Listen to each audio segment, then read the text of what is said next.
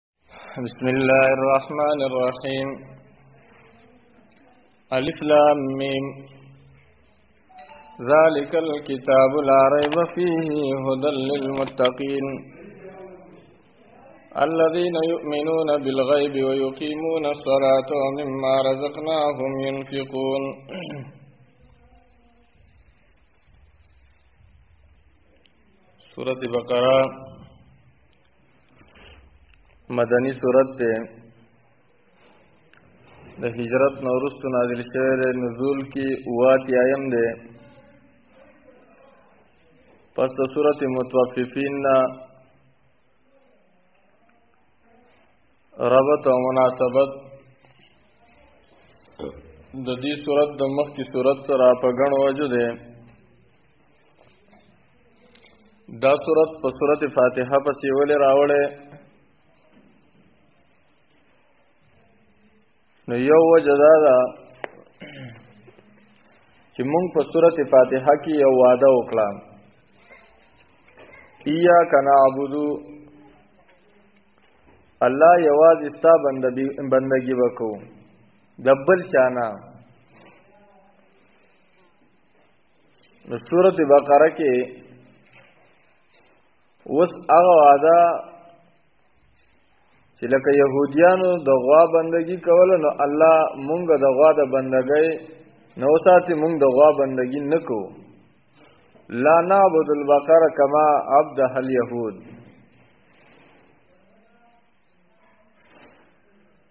دویم مناسبت سورۃ الفاتحه کې مونږ وی الحمدلله صفات د خدای توب هغه خاص الله لره دي نو سورۃ البقره کې د دې وضاحت کې او صفات د الله ذکر کیو صفت د قدرت صفت د علم صفت د حیات دا شان ګڼ صفات د الله ذکر کوي چې دا الله لره دی او بل چاله نشته دریم سورۃ الفاتحه کې وی رب العالمین ټول مخلوقات پالی نو کله عامه خبره وشي نو د سړی په کې ځان هیر وی چې غني زه داسې نه کومه نو مخکې عامه خبره وه نو اوس بقره کې وي یا ایها الناس اعبدوا ربکم الذی خلقکم نو دا هغه د حکم مطابق خپل ژوندۍ تیروي او دا هغه د حکم مطابق موافق شه سلورم د الله صفت بیان کړو الرحمن چې مهربان ذات دی او د رحمان معنی مونږ کړی و چې عام نعمتونه نو کوم چې عام نعمتونه دي نو سورته بقره کې نمونه د رحمانیت ذکر کیو چې وګوره بنی اسرائیل باندې مثال په تور ما څومره نعمتونه کړیو بل سورته فاتحه کې وی الرحیم دا الله صفت ذکر کړو چې الله تعالی رحم کون کې ذات ته او دا مونږ ویلو چې درام نه مراد خاص نعمتونه دي نو خاص نعمتونه کوم نو دلته کې داغي په بنی اسرائیل باندې ربنا وبعث فیهم رسولا او منهم دا ذکر د خاص نعمتونو په تبر د نبی علیہ الصلوۃ والسلام باندې چې ګور ما د دوی د تبر نه استاد یو لګو دوی ته دارنګه سورته بقره سورته فاتحه کې وی مالک یوم الدین نو الته کې چې مالک د ورځې د قیامت دی نو بقره کې د هغه له وضاحت کوي چې مالک دې په داسې طریقه باندې چې بیا ته الته کې په یو طریقه هم څه خلاصې دي نشي 47 نه 48 نمبر آیات کې ذکر کړو چې خلاصې دل ته بیا نشته کامل خصم نو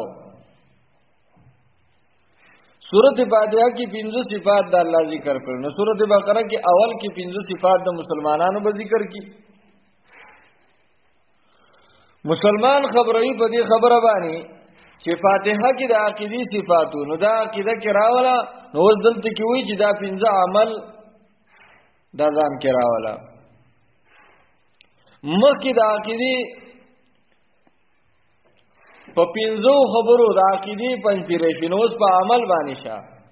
دا نه چې عمل دی نه عمل هم باغی باندې برابر کا سره د عقیدی او اتم سورۃ الفاتحه کې صرف ستا بندگی وکاو نو بقره کې وی اعبدوا ربکم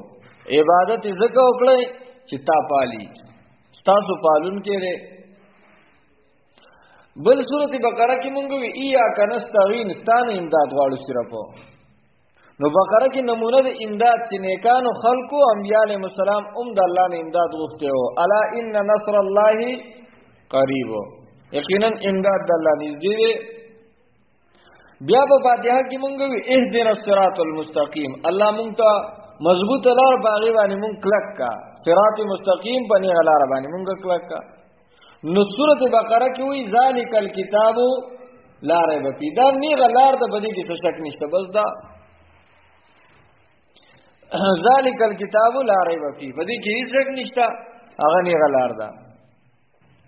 بیا په سورته بقره کې په لند باندې د درې وړلو ذکر وکړو منعومن علیهم مغضوب علیهم او ضالین د دې درې وړلو تذکره وکړه نو په فاتحه کې صرف نمونه او بقره کې د هغه علامات او نشانات ذکر کړي فاتحه کې سلور مسلې وي توحید د الله یواله رسالت د نبی پیغمبري او کتاب او ایمان بالآخره دا څلور خبره الله رسول کتاب او ایمان په آخرت باندې دا څلور خبرې په فاتحه کې دا ټول بقره کې بیا هم دي خو تفصیل تفصیل سره کې لګ وضاحت سره کې او خبره به خوګه کې اے مونږ به داسې وایو مسله د نبی علی صلوات والسلام د الله د یووالي د توحید یو مقام ذکر کاو الته کې د الله چې خالق ته د مخلوق خبره وا نو دلته کې د الله او د رسول خبره ده د دواړو په مابین کې صورت تقسیم یو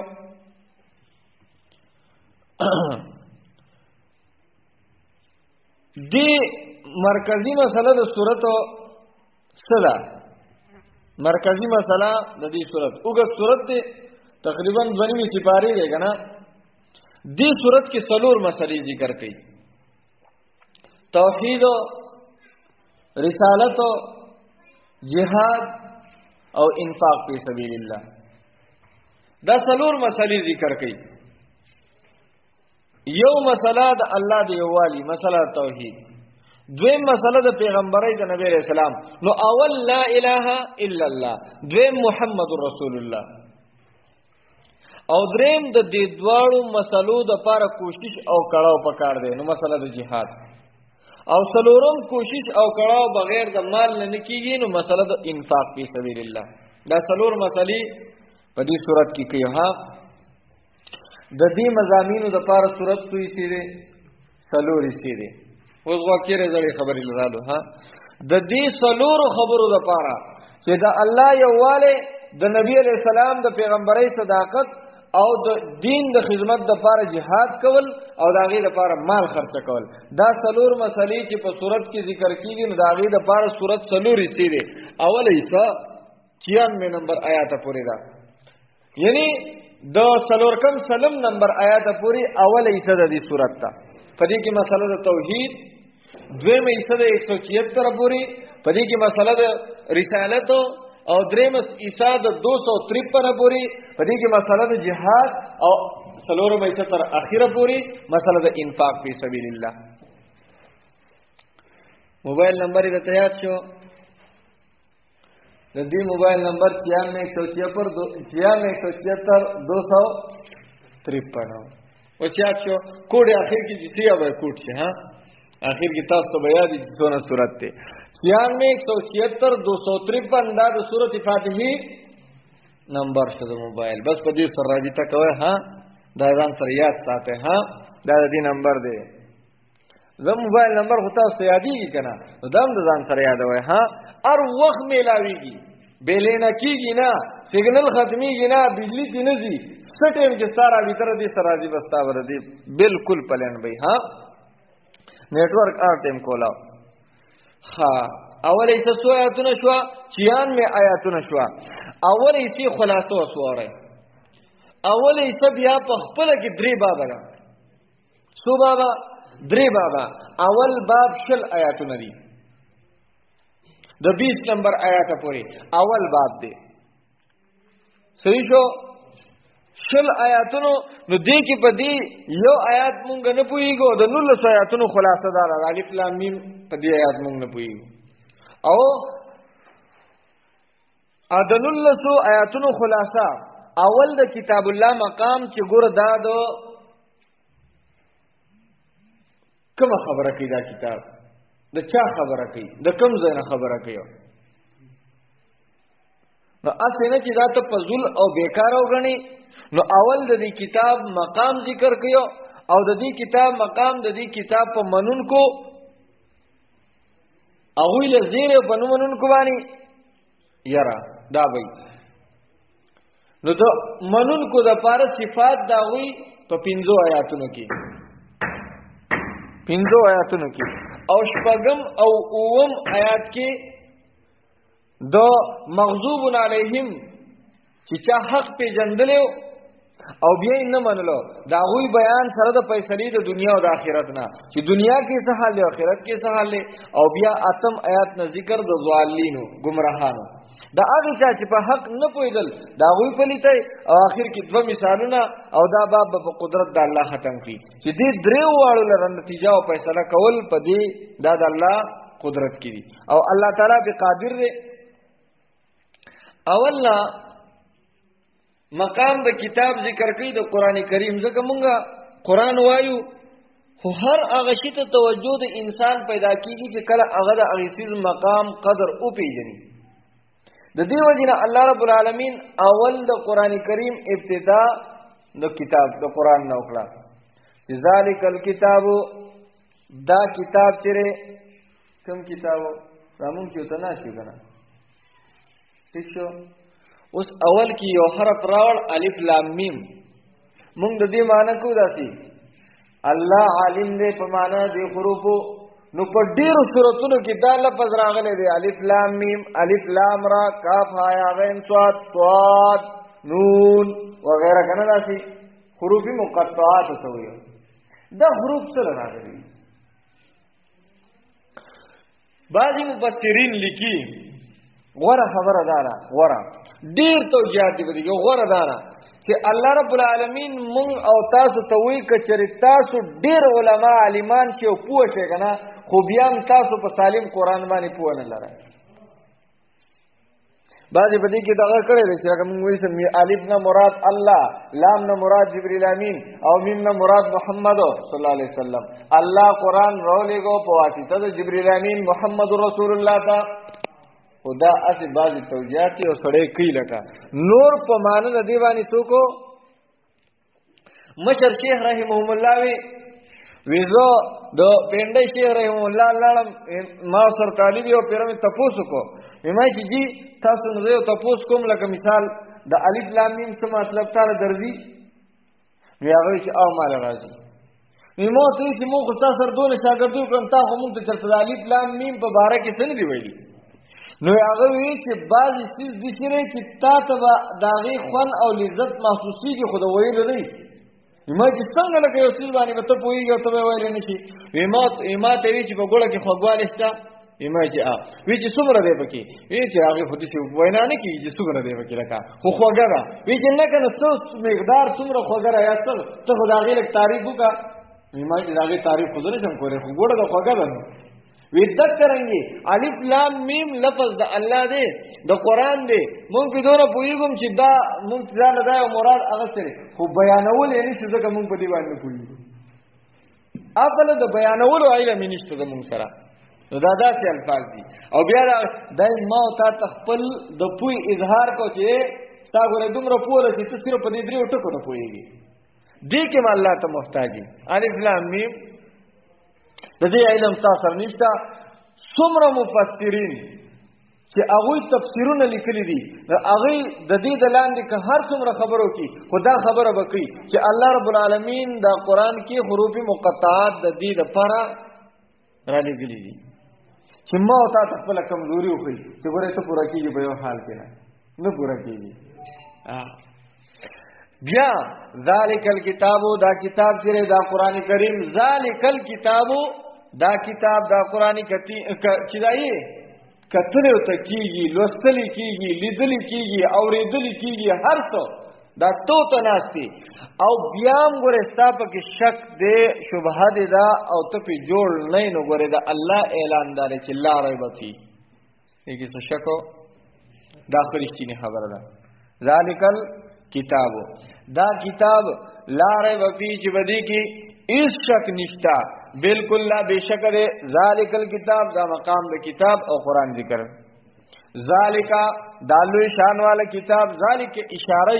کله هغه سیستا چې هغه زین کې موجود وي او سړی ته داسې وي چې لکه سړی وای ما تخکاری لکه اوسو مثال یو سیز یینا خو ته دومره په سوچ او فکر کې لکه ته دا غي خبره کوي او ته یې نه لګا ستره نه خو ستا په ذهن کې داسې موجود شوی دی نو بس کله کله یو سیز د بنده ذهن کې دومره ورته یاد وی لکه دومره چې بس دته مخامخ وی لکه یینه خو دته مخامخ وی ښکار وی لکه زین ته دومره راغلی دا کتابم د کسې دی دا کتابم د کسې بس دا یو کتاب دی د کتابونو د دې مقابله کې نور هیڅ هم نشته ها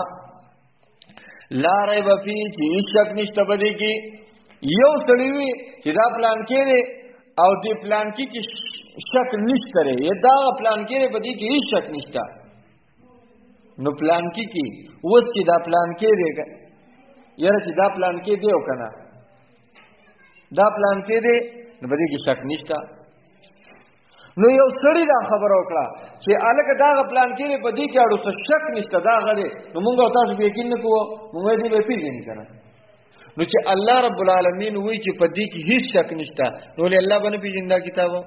الله ته به علم نه یو نو موږ د بنده په خبره باندې دومره اعتماد او باور وسکو او د الله په خبره به اعتماد او باور وسنه کوو ها لا ریب فی اشتک نی اشتک پکې دي نشته بالکل لا ریب فی تنزیل الكتاب لا ریب فی شک پکې نشته تنزیل الكتاب سورته الف لام میم سیدا اول آیات ها الف لام میم تنزیل الكتاب لا ریب فی دا صورت نازل کړی شوی دی ایک هیڅ شک نشته لري په دې کې د طرف د الله نه ایس په دې کې شک نشته لري اوس سوال دا راځي چې خلک یعنی کافر خو په کې شک کړي دي او دا شان ملحدانو په کې شک کړي دي نو څنګه شک پکې نشته نو جواب دارې دا خداغوی ناپوی او کمې دي دا د کتاب کمې نه دی کنه دا خو دا غوي کمې دی دا غوي نه پوي دا فرض کړو خبره زو کم ا خبر زما بالکل کاروي لکه زو ام بار کسان کار کوي بار کسان کار کوي زه د دیو جام چې زه ترالم مو ځګی ما اورم کار کوي کنه خو زما اوریدونکي پوه نشي او چې نه دا سړی سړي ګیاري بار څوک دي سړی خو دې ځوک کوي دی چې بار بس وخت کیږي اوس بار کار کیږي خو لکه زما خبره خو دروځنه نرشتین ده خو دا سړی چې انکاری دی نو دا زما کمیره کولاغه کمیره زګم ماته پتم دا زه تیرا لمم او زه आवाज ومر او په دا په تراتم دې دغه کار دې دا به دومره حد پوری دي الله غیر دې دا کسان دي نو دا خو زما کمې نه چې هغه نه مني و چې را زما پکې شک ته دا خداغه د زین او د زړه خبره ده داغه د سوچ او د فکر خبره ده نو ګناګار به څوک دي هغه په خپل نه اوس الله رب العالمین وي په دې کې شک نشته او دی وینه زما به کې شک ته نو څوک ګناګار دي الله وی لا ری وفي اے لا ترتاب به په دې کې شک مکوي په دې کې شک مکوي ذالکل کتاب دا یو مقام د کتاب لا ری وفي دا دویم مقام شو دریم مقام د کتاب هدل للمتقین کامل هدایت او کامل هدنه د پار دا خلکو چیریږي د الله نه معنی مې وکړه ها کوپو شي وي هدایت ته د پاره د متقیانو نو چې یو سړی متقی شو نو هغه هو اچم په هدایت ته نو هغه لر بیا د هدایت څه ضرورت ته ها پیدا بیا د دې نشتره یو سړی دی هغه مونږ دا مثال وایو کنه دا مثال مونږ دی یو سړی د سواد ته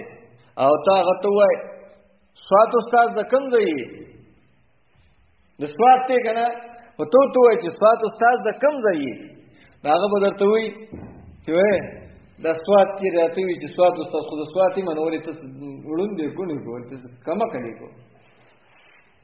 زه په ټټو سوري تا راته نه چې سواد استاد خو سواد یې مکړه نور به دې کې څه ځای ها د کوم ځای ما نه به درته دا وای نو نو ما مانو کړه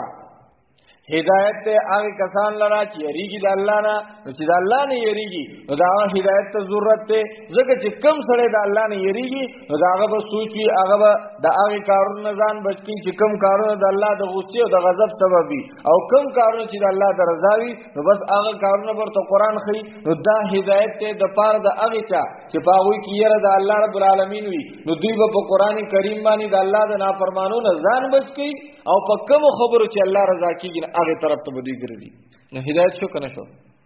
اوس کو سړی یریږي ډیر خو چې مثال دی په قران نه پويږي او د الله احکامات نه پیژني داغه یو چیز من کړی شوی دی هغه باندې ته پته نشته رین حرام او حلال نه پیژني امر او نواهی نه پیژني نو دې بسنګ عمل کوي نو خدل للمتقین هدایت ته د پاره دو متقیانو نو متقیا سړی چې الله نه یریږي تقوا پکې ها پاک راضی کنا ما انزلنا علیک القرآن لتشقا ما قرآن دل نه را لګلې چې تا په تکلیف کې راځیو ها تاسو ستړی شي په نفلي عبادت باندې بلکې الا تذکرتن لمن یخشا دا خو نصیحت دې د پاره د چا هغه چا چې یره پکې دا د یری والو د پاره نصيحت ده ها نو هدل للمتقین هدایت ته چاله را هغه چاله را چې یریږي د الله نه یا هدایت ته د پاره دو ارادي کوونکو د تقوا چې هغه بزان کې یاره پیدا کړي ها یو سړی اراده را چې زری تقوا حاصل کړم نو پکې دې کتاب به تقوا حاصل کړي دل ردی راشي په دې به تقوا حاصل کړي اسی نه ها نو کوئی تقوا سلول غواړي نو قران خو تراشه اشاره دیتا چې ځان ته تقوا ټیکدار وای او قران نزد کین نو دا اسی فضل ټیکداری دا هدل للمتقین الذین الذین سرب مانکو بالفعل متقیان دا طالبان درته اوس خې چې متقیان څوک دي ها د دې طلب کوون کې څوک دي د دې طالبان څوک دي او دا متقی جوړیږي وسوکو دا غ صفات ته ذکر کوي متقی بالقوه متقیان الذين كيوس اغه تخيها هدايت اغه چاله رہے الذين هدايت اغه چاله رہے چې تقوا غواړي او طلب کوي معنی هدایت ته هغه چاله را چې را ګرځي الله تا او هغه کی تقوا وی را ګرځي دی سوچ پکې یعنی انابت چې پکې وی الله طرف تا او طلب پکې وی نو هغه ته قران کریم هدایت کی او چې را ګرځي دل انابت او تقوا یره دا پکې نه وی نو بیا غا بلهو ابو جهل هم قران اوریدل خو چې انابت نو نو دغه شان پاتې شو سم نشو ولی نابت او طلب نو کنه قران هغه ورېدل نو نبی رسول الله سلام له براتل نه ابو جهل له ابو سفیان دی یو هغه بل دا درې واړه براتل د شپې ور بیت الله په شاه شابانی ناشتو یو بل نه پټې دو نو هدل للمتقین الذین متقیان آ کسان دی او یهدی الیه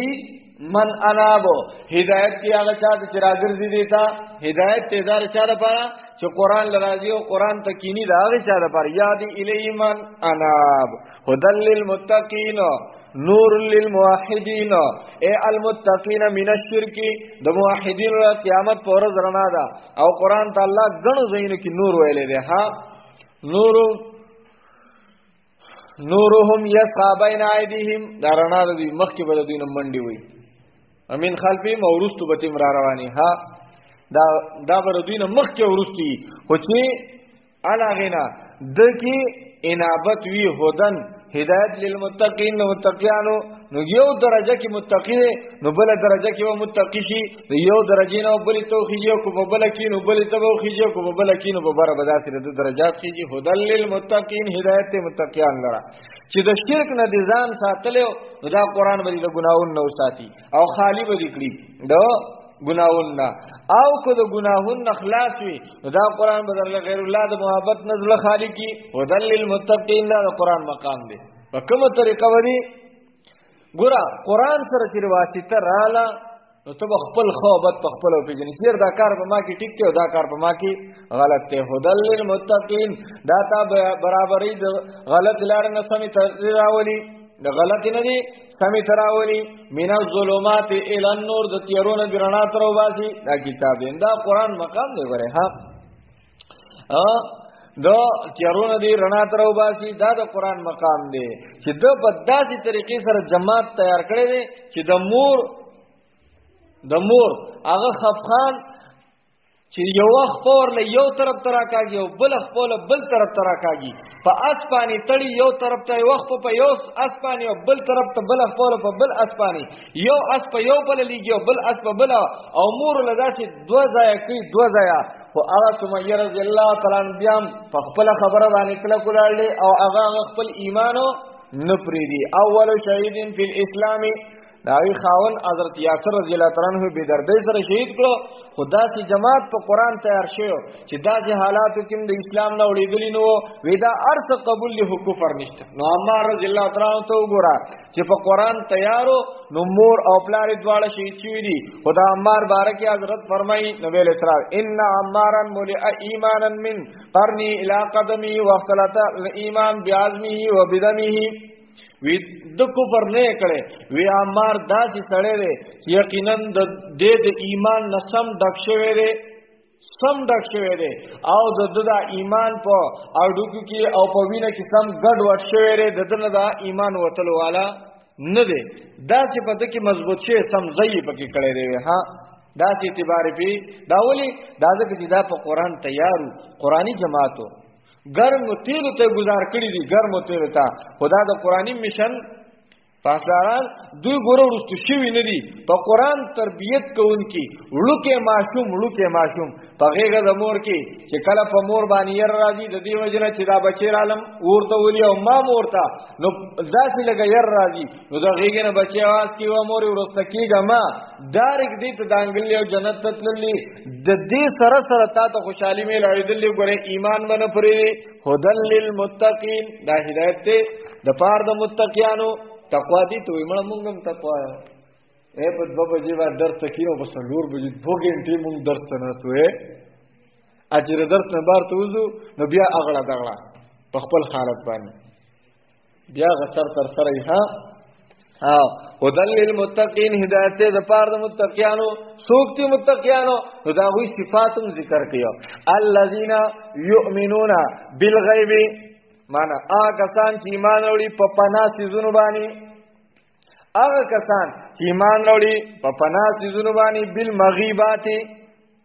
ښکاری ورته نه ایمان پیروړي لکه جنت دوزخ حالات د قبر پوری صراط فرشتي الله په دې ټولو زمونږ ایمان دی ښکاری فراته نه کړه تاسو لیدلی به دي کیو بل غیب په پنا سيزونه باندې بل غیب هغه کسان چې ایمان راوړي بل غیب نه لیدلی یعنی حال کونیم غائبین تاسو ورته وای پنا سيزونه دي مونږ نه دي لیدلي یؤمنون بالغیب ایمان اوري دي په نالیدا نالیدلی نادیدا نالیدلی چې څه لیدلی نه ها دوی پنا غواړي د دوی ایمان اوري په دای پنا لکه په قران زمون ایمان دی او مونږ د قران وحی لیدلی نه ده کنه مونږ ته پته نشته مونږ جبريل نه لیدل ان تر دې چې مونږ خپل پیغمبر هم نه لیدل صلی الله علیه وسلم زمون په ایمان دی په نبی رسول الله زمون ایمان دی مونږ نه لیدلې دا د نالیدلې ایمان مرتبه ده نبی رسول الله یو ورځ ناسو صحابه کرام ورته یاره زبر د خپل ورونو سره میلاو شم چاته زبر د خپل ورونو ملاقات وکم ارمان یې وکړو صحابه سره ناس کې غیر چا پیرا یا رسول الله ولې مونږ ستارونه نه یو نبی رسول الله صلی الله علیه وسلم ورته نه نه انتم اصحابي دا زموږ ملګری یې تاسو زما ملګری یې ها او بیا نبی علیہ السلام یې زمارونه هغه خلق دي چې د دې پیړۍ نه به ورستو راځي زبې نیم لیدلې او به ما به ایمان نه وړي زبې نیم لیدلې زما خبر به مني زما طریقې به نه لیدلې هغه به اختیار یو نبی علیہ السلام مونږ ته خپل رونه ویل دي لیکن که مونږ خپل مقام پیژندلو چې موږ د نبی رسول الله سلام ورونه یو اسی وای رور پرور نه خپه کیږي د رور په عزت نه خپه کیږي رور کو د رور سره هر څومره دښمنی کوي خو دې بار خلکو ته وی دا زما رور دی اسی نه چې موږ کمزوري شو نو موږ هم سوچو کو چې را موږ خپل رور سره څومره مینه کو د نبی رسول الله سلام الله دا خبر زون په حق یو ګرځینو یؤمنون بالغیب الذين بختور یؤمنون چې ایمان نوړي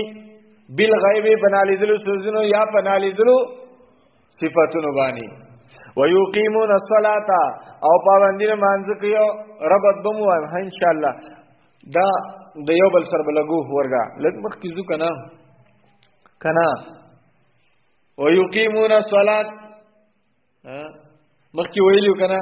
ایاکا نعبدو تعالی را بندگی کومونګه ایا کنا عبدو کی عبادت بس تو قسم ده عبادت د زړه بدن د مال درې قسمه نو اوس ګورا یؤمنون ایمان راوړل عبادت او عمل له یقیمون الصلاۃ دا د بدن عمل عبادت دریم ينفقون دا د مال عبادت درې واړه حل کړو کنه یا کنا بدو کی صرف سرسری خبر وکړه چې خاص تعالی ر بندگی کو مالی جانی او څه زبانی ارث کو چې په څه عبادت ته په څه طریقه باندې نو د زړه عبادت دلکو د بدن عبادت دلکو د مال عبادت دلکو نو دلته مو چې یؤمنون بالغیب د ظلم ایمان راوړل او یقیمون الصلاۃ بدن هم عبادت کو او ينفقون مما رزقناهم هغه خرج کو مال عبادت کو یا کنا بودوانی مونږه تصدیق کو ها دا د ایمان والو صفت ته د مؤمن سړي کوم مونږ کی خو دا ټیک تا کنه نه ها یقیمون الصلاۃ یقیمون پابندی کوي اقامت خو درول ته وای کنه نو مونږ ورزیدلې ملاست چې ته ودرای نه نه ویسا شیخ ابراهیم الله بوي شیخ غلام حبیب شیخ ال پیلو کلبیل پیل پشان د غوی دی ها فعل خو بس یو غوی دی چې چا پی جلب واچو نو داغه دی قیام ارز کې دو ودریدو په مان نه ګوره ها چې ارز کې مونږ وای هر سورګره شاګل نه دی ګوره ها ارز کې د یو ټکی یو معنا مکوا مختلفي معنی دي دار ده ها ارزه کې د ودریدو په معنی نه مخکې مونږ ویلو چې ارزه کې به یو نسخه دا په یو دغه باندې نه استعمالوي بیا به تاسو بد راشي لګو نو قامت السوق مونږ وایو کني قامت السوق بازار ګرم دی سم ګرم شو نو بازار ولاړ نه دی چې سړی قامت السوق بازار ولاړ دی الته وی بازار ګرم شو نو التم قامت ذکر کو خلق وی جاء زید مطلب دا شو چې د یو زین بل زی ته بدل شو اوس قران وی وجیء یوم اذن بجهنم ها جهنم براشي څه مطلب را روان وي نه نه ښکارا بشي ښکارا بشي نو ارز کی یو مان نه یقیمون الصلات د هر څه اقامت داغي مناسبي معنا ادا کوي منظور لرا پورا کوي منظور لرا داغي په طریقه باندې یقیمون پابندي کوي یقیمون الصلات پابندي د مانځ کوي دا نه چې یو مسکی او بل پریدي دا نه چې کله کوي او کله نه کوي لړ غواړي کوي چې لړ نه غواړي بس نه نه پورا اقامت الصلات په څو طریقو سره راځي د مز ارکان پورا پورا ادا کول او وکړه ها د مز ارکان پورا پورا ادا کول دا لکه نه چر چر پشان نه دا نه چې رکوع له رسیدو سره بس سمدستي بیا نیږي دی وی الله اکبر سبحان الله سبحان الله سبحان الله لمن ربنا ربنا لك الحمد په سجده کې اکثر وایو الکه د الله بندا دې ته لږ سوچ کوه چې ته مونږ کوي کنه نو ګور دا خبر زده کړه ها یو تکبیر الله مونږ وای کنه تکبیر الله لري الله اکبر چې نامونه لا سړولو نه مخکې ته الله اکبر ختم کړي بیا الحمد او قل هو یا یو صورت دو دا په ولاړی وای نو کته چې رکوع لذین الله اکبر چې تر رکوع سوزي چې الله اکبر ویلې نو موږ اکثر رکوع ته کته شو الله اکبر نو بیا سمع الله لمن حمده په دې نیغېدو کې وای په ولاړه غوستا ربنا لك الحمد لله ته غوستا سمع الله لمن حمده دی نو موږ چې درانه شو نال ته وای سمع الله لمن حمده نو بیا په کته باندې شو ربنا ولك الحمد نو سجده لبر سجده نو په سجده کې وای الله اکبر نو سبحان ربي الاعلى په چتیدو کې وایي نو بیا بزوالتن الله اکبر الګه د موس چې کوم مقامات خپل خپل زینه خو تر څپري خو ده تر څه به خبره پوه نه شي کنه پوه شوي د کم زای د ټټیدو د پاره چې الله اکبر دین په دې ټټو ټټیدو کې بتاوي د نیغیدو د پاره سمې الله دې دا په دې نیغیدو کې وای نه نه چې ته نیغ بازو درې کې بیا وای چې سمې الله ولمن حمیدا او جو فقط روان شي ربنا ولک الحمد اجکه ته زما کې ته دې الله اکبر نه سمع الله لمن حمده او په نږدېدو پرې ټیم کې وای چې نیغ شي نو ربنا لك الحمد ربنا ولك الحمد اللهم ربنا لك الحمد اللهم ربنا ولك الحمد حمدا كثيرا طيبا مباركا فيه دا دی وی خو په کلاره الله اکبر سیدی لبراشي نو سبحان ربي الاعلى په پزما کوه نو بیا په پاتین الله اکبر چې کینی چې ته الله اکبر وایي دا چې ته کینی په الله اکبر وایي الکه په ناس کې د ویل الفاظ ته هلته بول الله اکبر وای هو رب اغفر لي رب اغفر لي رب اغفر لي کنه نبی علیہ الصلوۃ والسلام دا اغزان له والله اکبر خو بګی نشته کنه او حضرات لولو د پاره وي نو اقامت الصلاه دلته کې دا دا نه چې بس ته په منډه باندې الته لاړې الته یاې مانځه ته لاړې یا اسارو ته چا غیا ورچولې کنه ورچولې ها زمونږ خر بچا پرانسته کنه وي یره چا غواړه بچرته تری ولار په مانځ باندې خو خو اکثر دي مشرانو خزه ودی دی دانو ته فاتح لاله منځ به چې چرګ راغلی شي یاد مې شي که نه تاسو به یاد نه شي زما خو یاد شي ځکه ما په خپله لیدلي انا به شي شه رسینه به یې تر ځغلا خو مونځ به یې هم کوو دا هر څه به یې کول ها نو بیا دا دا به نه کوې ها او چا پکې یو څه کوي څوک پکې بل څه کوي یاره رکعتونه څو شوي دوه درې څلور یاره څه هغه استاد دی مانځه ته ولاړو نو استاد دی درې رکعاته کړی یو مقتدیان چاوي درې دي چاوي سره یو کسوي کر درې رکعاته کړی دي هغه تاسو سره دلیل څه ویا څنګه وی زما ګوره دکان نه دي سلور دکان نه زه په یو رکعت کې یو یو دکان حساب کتاب کوم سلور دکان نو مار درې حساب کو یو رانه پاتې نه په پټو لګي یو رکعت پاتې که ها الکه وی د دې سړي دا خبر د کانی کرخه ده دې سړي دا خبر ده کانی بیا به مونږ کو خیر دی یو یو وخت کې بدا طریقه مو خو ها ها نو یو خدا نو دا یقیمون الصلاۃ دی به مونږ درې معنا مونږ به پوره کوي په صحیح طریقې سره دی به مونږ احکامات سر سر تر رسیدانه چی دی په کې منډي وي ها نه نه مونږ به بالکل په صحیح طریقه باندې کوي ها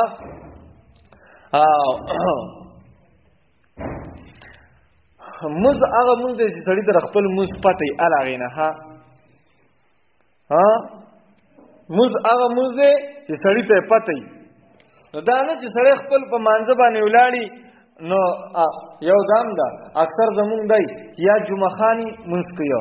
یا رمضان خانی نو پر رمضان کې او یا اختر خانی او یا داسې چې بالکل لدین پر وړي بیاړو سفروانه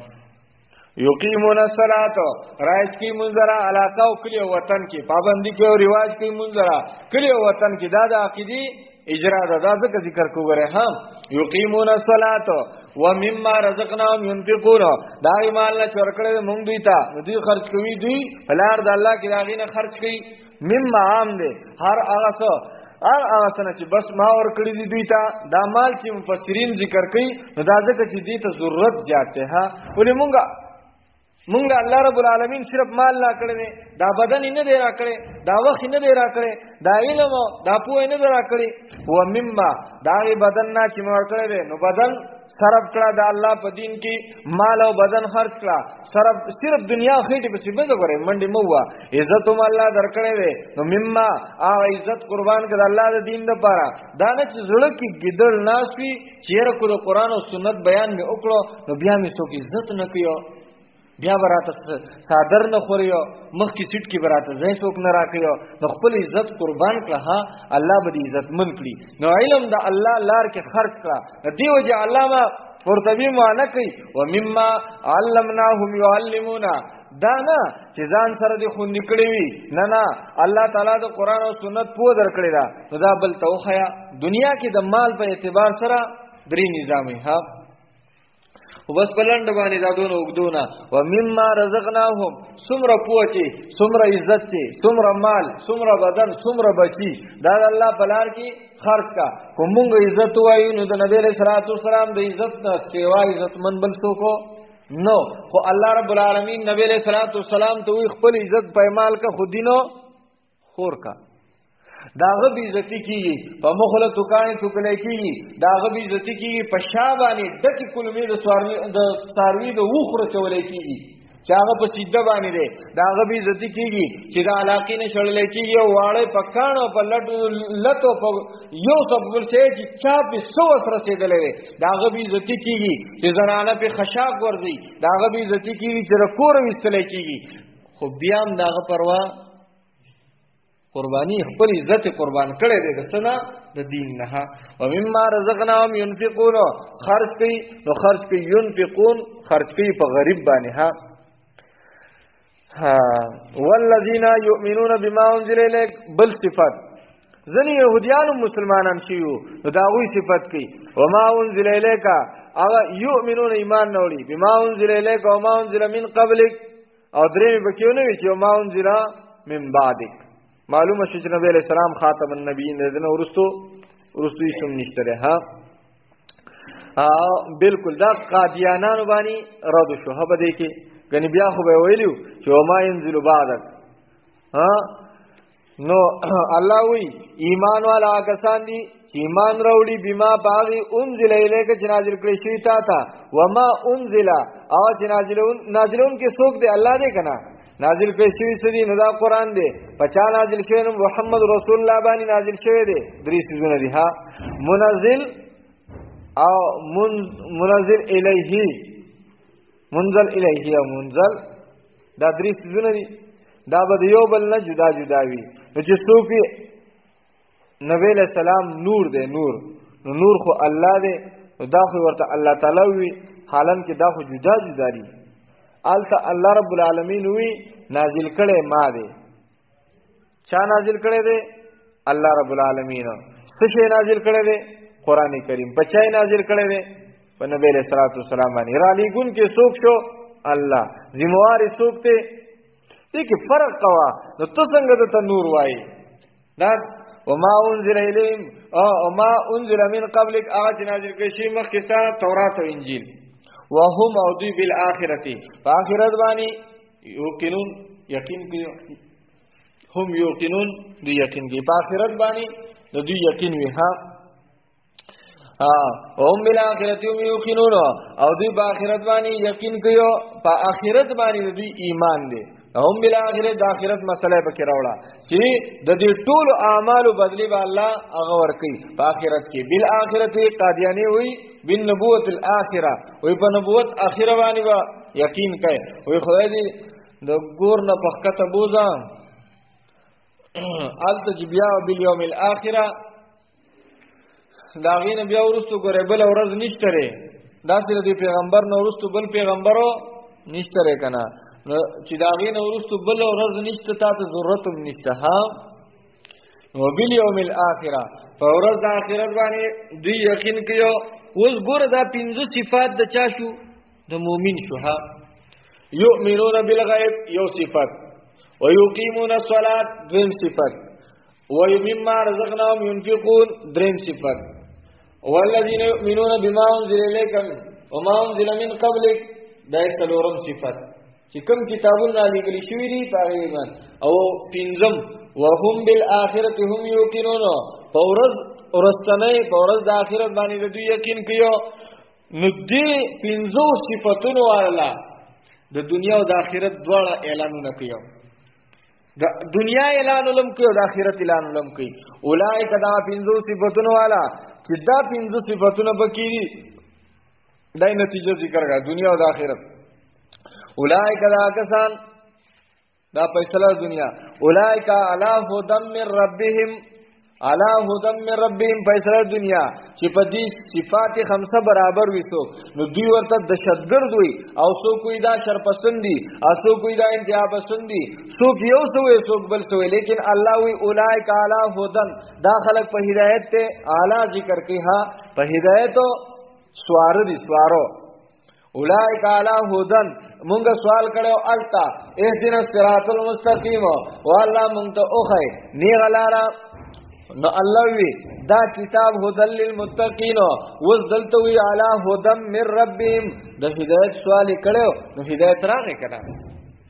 په هدایت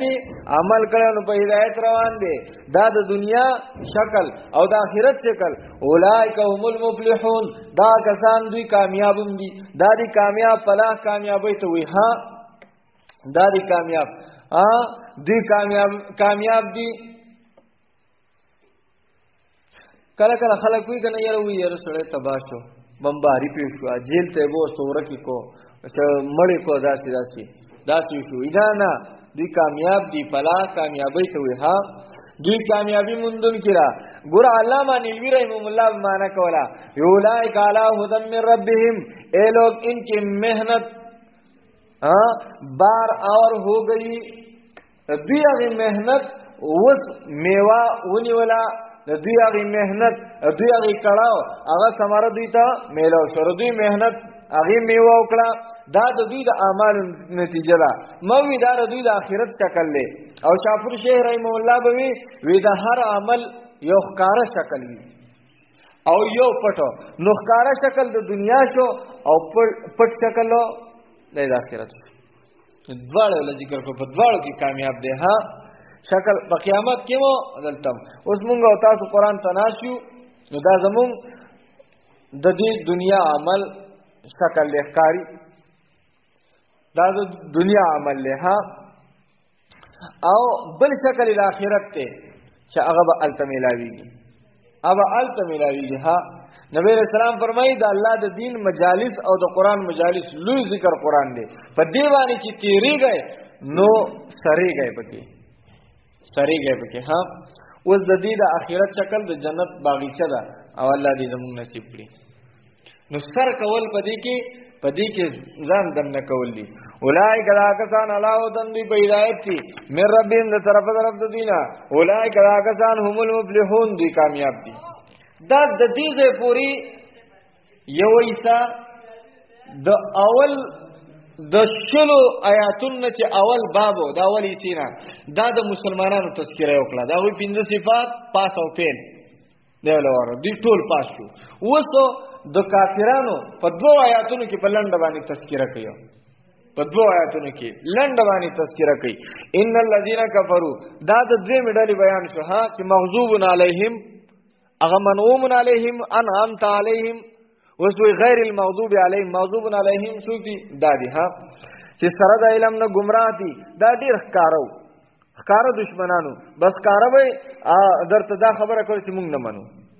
بس دو آیاتونو کې په لنډ باندې زر ختمه یو ان الذين بشکا کسان کفرو چې کلک شو په کفر باندې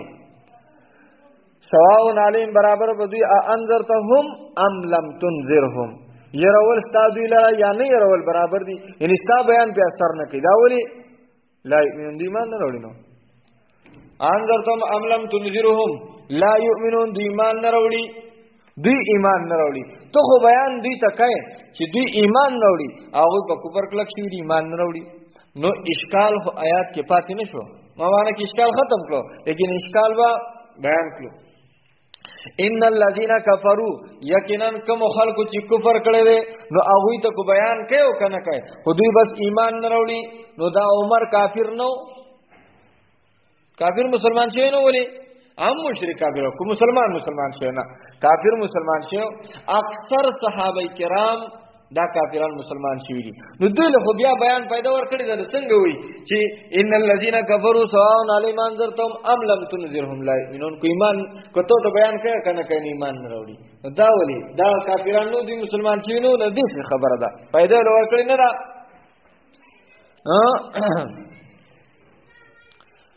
نو دا کومنګ سوچ کو چیرې دوه کافرانو دا عمر فاروق دوی له بیان پیدا ور کړی و زګه کافرو او بیان سره مسلمانان شیو نو بیان خو پیدا ور کړی و او قران وی بیان پیدا نه ور کوي کافر نو دا اشکال شو نو مونږه مانو کړه ان الذين بشکا کسان کفرو چې کلک شو په کفر باندې هغه د کفر نه اوړینا هغه اراده د سمیدو نشتا نو دی له پیدا نه ور کوي انابت پکې نشته رګنا او قران هو منیبین ته انابت والولا هدایت ته او دوی کې انابت نشته یا الله پاک الته کې چې کومه خبره پاتې شوی و نو هغه اوس یا هدل للمتقین هغه کوم دی هدایت چاله نه دی متقین لره دی متقیان مونږ دا غوي مطلب پیدا به متقیان اخلي بیان خطول لره کنه خو پیدا دي چاته حاصلېږي متقیان لکنا نو هدل للناس بل ذکر راځي چې هدایت ته د پاره د ټولو خلکو نو بیان دی للناس د پاره د خلکو حکلکن متقیان لره او ته پیدا کړي نور به صرف و وریو لکه د ابو جهل لوتی دي موحد په دی باندې کله کیږي نو دا خبره چې پیدا به په دی متقیان اخلي نو دوی قران اوریدل نه دي کافر دي نو پیدا ورلم نه ور کینو سندی رحم الله فرمایي وي د قران په مقام به ځینو خلکو اعتراضونه کول نو هغه به جواب کو اعتراض چې تاسو وای قران کامل هدایت ته نو کوم د ابو جهل او عتبہ شیبا دی خو یو هدایت د دینو نه مندل معنا قران نه کنه نو دا لاسن کامل هدایت دی نو جواب ورکړي چې دوی د سر نه قران اوریدل نه دي او د قران خال راغلي نه دي نو هدایت خوده ها خو لیکن یو سړی ته وب پرتی دي او دې ته خلقینا یا ته خلق ولاوینا دا بدن نه لاړ شي ترڅو چې دا جام بدن نه اړولې او دا روغ کوزه ته کولاو کړیندا دا دن نزی نزی کنه نو اوبو وس کنه صاحب تند ماته شي نو قران وره ایمان دراولي نو چې قران د راځي نو څنګه بوله پیدا ورکی ها پیدا ول نو ورکی ګوره ها او نو ان الذين كفروا یقینا هغه سان چې کلک شوی دی په کفر د کفر نه مراد دلته کې کفر عنادی دی ها ها ان الذين كفروا بشکا کسان چې کفر کړي دي د قصدن کلک شوی په کفر باندې مغضوب علیهم هغه چاته وی چې حق او پیژنې او منی نه مو وی کنه نو دوی ته حق معلوم دی هدی په کفر کلک دی دا کسان ته مراد دی ها او عنادن کلک دی مدارک کفر یو انکاری دی هغه کفر چې خلا زړه دواړ باندې وی چې نه منم یو کفر جحوی دی چې هغه کفر چې په خلی نه منم او زه کې منی لکه فرعونانو او دریم کفر عنادی دی چې په خلوم وی منم او زړه کې منی لیکن غاړه نه کې خدا لکه کفر د ابو طالب چې په خله هم وی حضرت محمد صلی الله علیه وسلم په حق دی زړه کې هم وی چې حق دی لیکن غاړه نه کې خدا دا عنادیان دي ان الذين بشکا عنادی کافرانو چې کفر کړي وي ان الذين كفروا سواء عليهم کته خبرو کې دوی ته برابر د بدوی باندې انځرته هم کوی رته دوی لام لم تنذرهم یاو نه رته دوی لا یؤمنون دی مان نه وروړي دوی مؤمنان نه دي دوی برابرۍ دي نه لا یؤمنون ولې ردا چل نه کی د ایمان ولې نه وروړي دوی دې زړونو تر قران ولې نه کوزیږي را الله وی ختم الله علی قلوبهم دا علم لاري ټول باندې شوې دي ختم الله علی قلوبهم ها پزړې تعالی واهل شوی دا مهر واهل شوی دی ختم پاغونو سره حق اوري پسترګو سره ویني نو هغه درې واره د زده او د عنایت د وجنه ختم شو نو چې اوس یو اعتراض ور باندې بل کی چیرې الله تعالی په مهر او ختم وهلو نو دې کې د دوی څه ګناه شوه اخو الله رب العالمین ول زړونه بند کړو سترګې ول بند کړې او وګونه ول کان کړو نو آیا په دې کې د الله رب العالمین څخه ګناه شته دوی ګناه خو دې کې نشته رګنه نو د الله بیا دې له دا سزا ولې ورکې په دی باندې ځکه الله وی ختم الله علی قلوبهم مہر والے الله تعالی په زړه دوی باندې نو دا سزا د څه لپاره ورکې دا خو زیاتې غوند کې لخکاری ورو دا خبره دا چې لکه خلک وي صدر سه په طالبانو بمباری وکړه نو صدر سه جهاز کې ناسو بمباری کړی دا دا بم هغه په خپل راوړل بمباری کړی دا دا خاصه خبره ده نه نه کړي نور خلکو دا لیکن اډر د صدر سه وو اصل کې دا نسبت دی مقام کې الله تعالی ته دا اډر دی صرف او د فیصله دی فیصله الله تعالی کړي نور عمل د خلکو خپل ختم الله د دې مثال داسي لکه یو اس ولال دی او ته د اس په سورلې باندې نه پويږي ته د اس په سورلې باندې نه پويږي او په آی اس باندې زینوم دی وستا خو خدا کو په دې اس وريږي او کنه خو وس روان دې تا یا د موارو لیدو دا روان ونی و روان نکلو یا پی د پاسه روان نکلو بس اوس کو ته به سوريږي کنه به سوريږي وسو ستا خو هر درېما کو دې اصل چابک ور کوي او کنه دلرا پوند ور کوي چې لکه مثال په تور دې منډو کی پوند ور کوي او کنه خو چې دې مثال پوند دی ولور کړه او هغه تیز شو نو وس غورځیدل لاستا په اختیار کې شتره نشته کنه ستا کار سو است ته ولاړو ستا روان کو ته په د پاسه کې ناشتي یو سر پیاده وي اوس کو پیاده وي جو چوکر یو لرا پر خدا او کو پر بناسي پوند دی ول ټیکلا او دې دې په منډه واغستو اوس په دغه ټیم کې دا دا دا ورتاویدل ستا په اختیار کې شته دا خوګیدل ستا په اختیار کې شته چې د اس نه یا د برې نه رارتاو شوي او یا د اس په ځان پسې راښکلي دا اختیار د چا دا ورځه په اختیار کې نه و که نه اے مثال اوبه دي بېلپرس جوورې اوبه دي مونږ به وایو یو غټ اباسین دی یو سین دی که نه دا به اوس دې اوبو ته پاوڼۍ دي سړی ورته کوزېږي دې اوبو ته سړی کوزېږي پاوڼۍ دي ته ته هلته کې ودرېږې خپې دې یخې شوي او بیا په دې یو پونه کې دې خپې کې خو دې خشي دې بلې ته کوزي کې دوی میته نو دې چې لګ دا خور لا بار شو کنه تل لګ لګ ګرمي دا جزان خپه کلا را کنه دا چې بلې پونه ترې پکړه لند دا چې اوبو ته کوشوي لامبو نه درځي نو ګوره مخکې ستا اختیار وو چې کله ښکته کوزېدي نو که ته کوزېدي نه واپس کېدي نو ته خو چا خدای پاک په دیکه خو نه والي چې ته کته کوز کړی وي خو تاله اختیار درکوي و پوڼه وه بس دمه دې وکړه بلې ته کوز شي بلې ته کوز شي پوهېدي چې ماله لامبور راځي نو خور ته سره کوزېږي خو چې کله کوز شوي او اوبه دې د سر نه واوړې دي اوس دا ډوبېدل ستا په اختیار کې نه دي کنه دا شان الله تعالی اختیار درکړی دی ګناه دی اوس دای درته وی کو دا ګناه وستکای او کو تا ګناه وکړو او دای درته وی کو توبه وباسي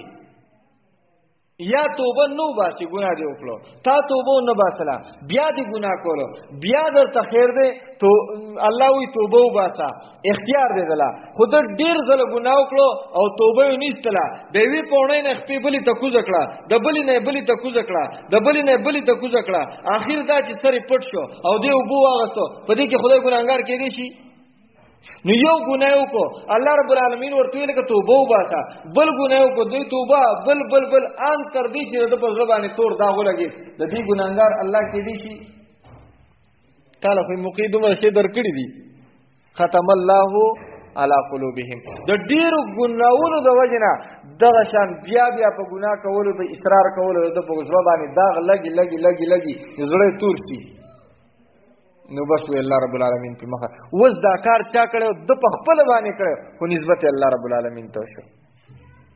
نو یره دا کار خو الله کې د سړی څنګه ګناګار دی ګناګار دی چې یو پیره توي صبر وکا بل پیره خدای نه نو